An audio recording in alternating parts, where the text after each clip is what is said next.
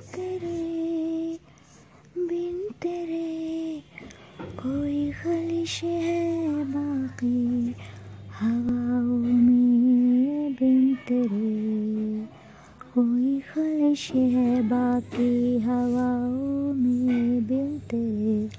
खालिश खालिश के मीनिंग को यहाँ पे दिखाया गया है।